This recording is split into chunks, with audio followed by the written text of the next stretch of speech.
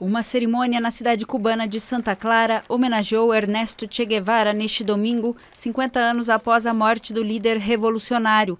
Foi também nesta localidade que Che ganhou em 1967 uma decisiva batalha contra as tropas do ditador Fulgêncio Batista. O presidente Raul Castro participou da celebração ao lado de seu vice e fãs do carismático revolucionário.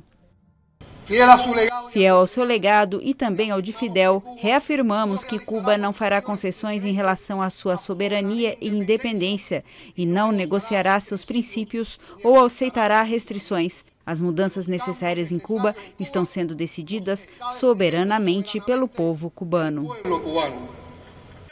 Uma comitiva oficial cubana partiu no sábado para a Bolívia, onde seus quatro filhos devem visitar La Higuera, vilarejo onde o guerrilheiro foi executado no sul do país. Ernesto Che Guevara foi capturado em 8 de outubro de 1967 pelo exército boliviano, depois de ser ferido em batalha e executado no dia seguinte. As homenagens são tradicionalmente realizadas no dia de sua captura.